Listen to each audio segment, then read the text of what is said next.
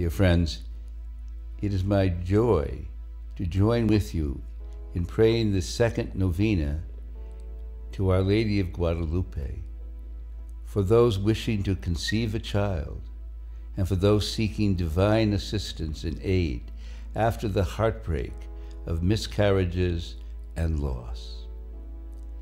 You know, as we turn to Our Lady, we always find her to be a powerful intercessor for us. When she appeared to Juan Diego in Guadalupe, she assured him, For I am a merciful mother to you and to your fellow men and women on this earth who love me and trust me and invoke my aid. So let us begin our novena on this first day, as always, in the name of the Father, and of the Son, and of the Holy Spirit. Amen.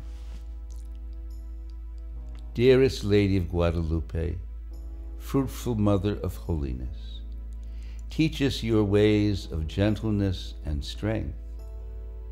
Hear our humble prayers, offered with heartfelt confidence, as we pray especially for those desiring to conceive a child and for those suffering after miscarriage and infant loss.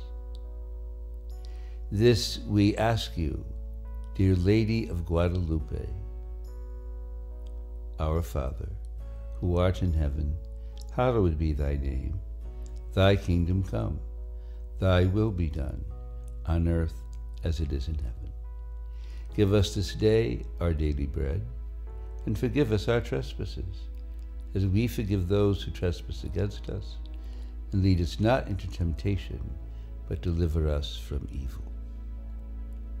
Hail Mary, full of grace, the Lord is with you. Blessed are you among women, and blessed is the fruit of your womb, Jesus. Holy Mary, Mother of God, pray for us sinners, now and at the hour of our death. Amen. Glory be to the Father, and to the Son, and to the Holy Spirit, as it was in the beginning, is now, and will be forever. Amen. In the name of the Father, and of the Son, and of the Holy Spirit.